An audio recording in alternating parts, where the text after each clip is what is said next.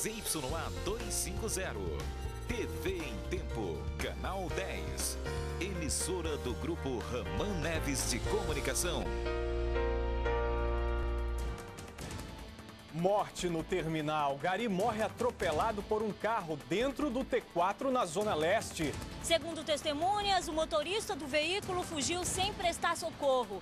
No Dia Mundial de Combate à AIDS, um alerta. Número de infectados no Amazonas deve superar 2010. Este ano já foram confirmados 856 novos casos de AIDS no estado. Mudanças na Ponta Negra, bares e restaurantes vão ser administrados por empresa privada.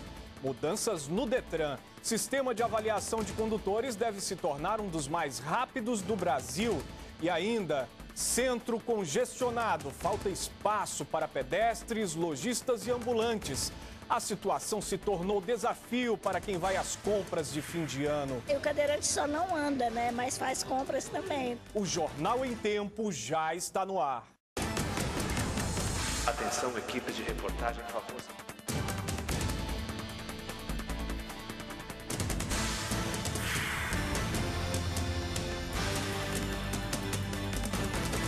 Olá para você que acompanha o Jornal em Tempo pela internet.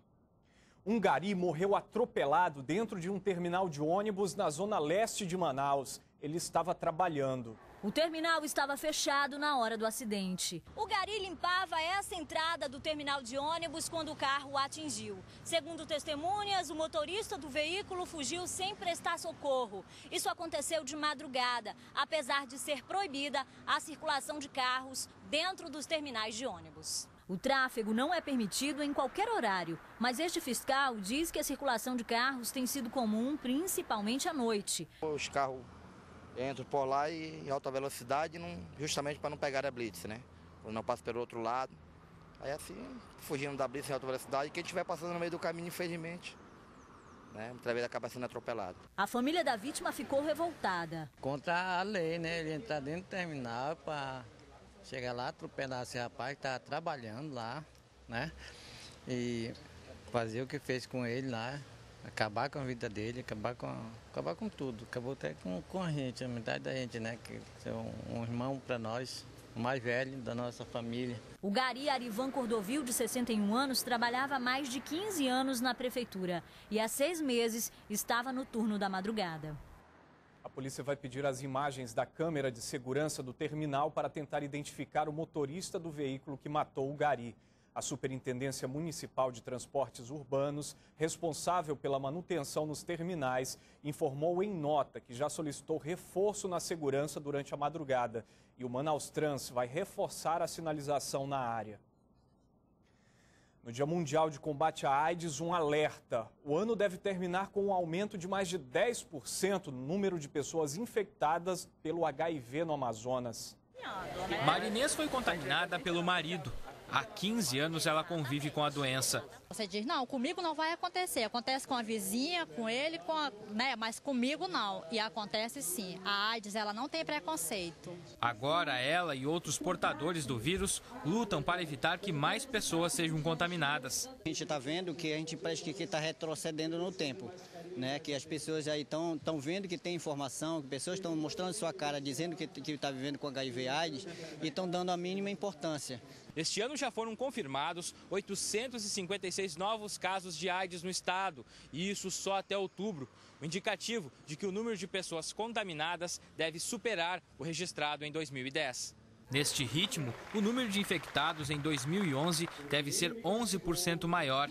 A faixa etária mais atingida é de jovens entre 20 e 34 anos, mas os casos entre crianças e idosos até com mais de 80 anos também preocupam. Nós temos que deixar de ser preconceituosos, não é porque uma pessoa tem 60 anos ou mais que tem que abdicar de vida sexual. Prevenção, cuidado, para que as pessoas pensem da forma diferente, de achar que nunca vai acontecer com ela. Mais de 5.138 pessoas estão infectadas com o vírus HIV. O futuro do Centro de Biotecnologia da Amazônia voltou a ser discutido hoje. Dessa vez no Fórum Nacional de Ciência e Tecnologia, realizado aqui em Manaus. O CBA pode ser fechado por falta de dinheiro para mantê-lo funcionando. Instalado no Distrito Industrial, o Centro de Biotecnologia da Amazônia está há 12 anos sem identidade jurídica e sobrevive por meio de parcerias.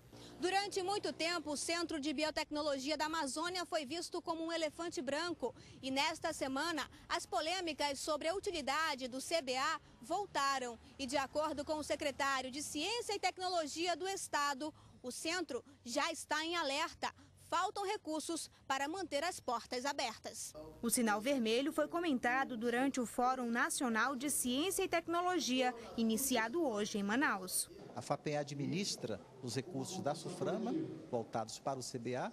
Esses recursos estão minguando cada vez mais, né?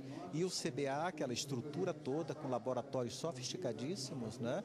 está está correndo risco. Né? O encontro, sediado em Manaus, reúne todos os conselhos estaduais de ciência e tecnologia do país, além de representantes das fundações estaduais de amparo à pesquisa. Representantes da França, Estados Unidos e Canadá também participam para discutir os investimentos na área de ciência e tecnologia brasileira que as empresas tenham por obrigação em fazer em pesquisa e desenvolvimento. Lógico que voltado para o que ela produz. Então, tem empresas aqui que está fazendo em Recife, em São Paulo, no Rio e não está fazendo aqui. Nós temos que criar essas condições para que sejam feitas aqui.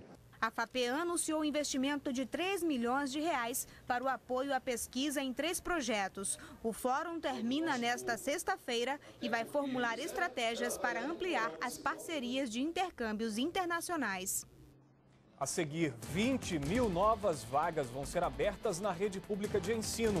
E você vai ver também: governo reduz IPI para a linha branca e aposta no aquecimento da economia.